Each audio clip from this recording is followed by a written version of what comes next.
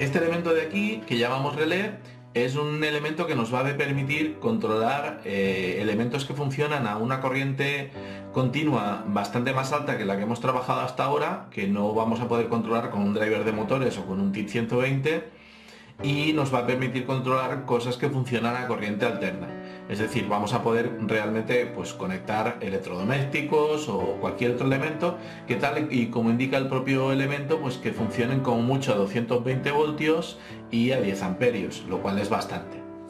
Lo que vamos a hacer, el procedimiento que vamos a llevar a cabo es muy sencillo. Vamos a coger el cable de conexión de corriente del, del elemento que queremos conectar y a este cable lo que vamos a hacer como ya sabéis, dentro, eh, internamente, contiene dos cablecitos.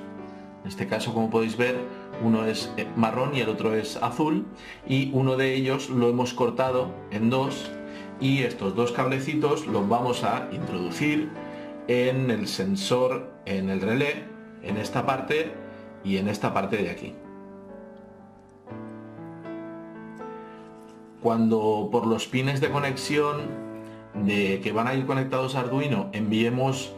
una señal de alta, enviemos 5 voltios, lo que va a hacer el relé es interconectar el cable de medio con el cable de la izquierda y cuando enviamos una señal en baja, pues va a interconectar el cable de medio con el cable de la derecha. De esta forma vamos a escuchar un pequeño clac mecánico, mecánico que lo que va a hacer es eh, cambiar esa, esa sincronización.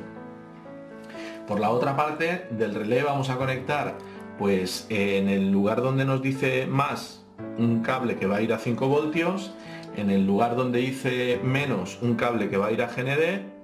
y en el lugar donde dice S un cable que va a ir a parar a la señal, es decir, a ese, esa señal que le, que le va a indicar si el relé está encendido o está apagado. Conectamos la placa de Arduino al PC y lo que vamos a hacer es, como es un pin digital, lo vamos a declarar con un pin mode, vamos a decir que es el 13 es un output, y vamos a hacer un loop que lo que va a hacer es escribir en digital en el pin 13 un 1, esperarse medio segundo y escribir un 0.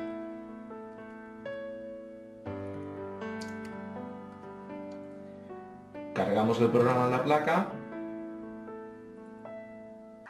Como podéis ver escuchamos un clac mecánico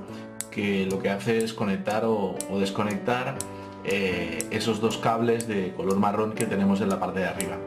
Eh, creo que ya lo he dicho antes pero lo vuelvo a repetir. Estamos trabajando en este caso con un voltaje que aquí arriba es muy alto y esto es muy muy peligroso. Solamente si somos eh, adultos sabemos exactamente lo que estamos haciendo y extremando precauciones como pues utilizar pues eh, guantes y, mantenerlo desconectado eh, mientras realizamos las conexiones y, conectarlo después al final eh, con muchas precauciones para probarlo deberíamos de hacer servir esto ya que este voltaje superior a esos 5 o 12 voltios de continua que estamos usando todo el tiempo puede ser muy peligroso